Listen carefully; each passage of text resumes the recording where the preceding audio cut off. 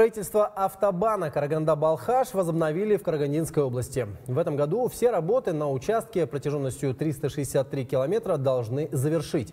Сейчас из четырех полос для движения открыты только две. Трасса Астана-Алматы стала главным долгостроем страны, и сроки ее сдачи все время срывались. Как сегодня проходит реконструкция автобана, выясняла наша коллега Марина Золотарева. Алматинец Андрей Гузоватый перевозит товары на больших грузах уже больше 20 лет. Раз в месяц ездит из Алматы в Астану. Говорит, что дорога, которая была до ремонта и нынешняя, разительно отличаются. А главное, экономится время пути. Пару часов, наверное, можно так вот сказать. Делает дорога совсем другая становится.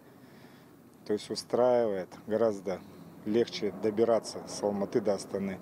В прошлом году на четырех полосах автобана уложили первый слой асфальтового покрытия. Однако не было разделительного барьера, поэтому для движения открыли только два направления. Сейчас дорожники устанавливают барьерное ограждение на разделительной полосе. Им предстоит обустроить 363 километра. Металлические балки и стойки, которые здесь используются, изготавливают на местных заводах.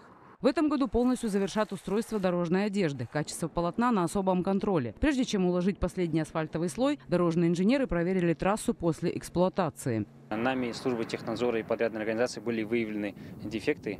А, это такие, как э, колья, трещины, просадки. Они э, по большей части э, появляются из-за того, что пускается, ну, проходит движение, в процессе эксплуатации выявляются соответствующие дефекты. Согласно договору основному, данные дефекты будут устраняться подрядными организациями. Строительство автобана Караганда-Балхаш начали в 2019 году. Тогда его оценили почти в 250 миллиардов тенге. За пять лет сменился генеральный подрядчик и проект подорожал до 317 миллиардов тенге. Теперь долгострой планирует полностью завершить до конца этого года и обеспечить движение по всем четырем полосам автобана. Марина Золотарева, Сайрана Камбаев, Зеленозуб Пыхар, Каролинская область, 24 КЗ.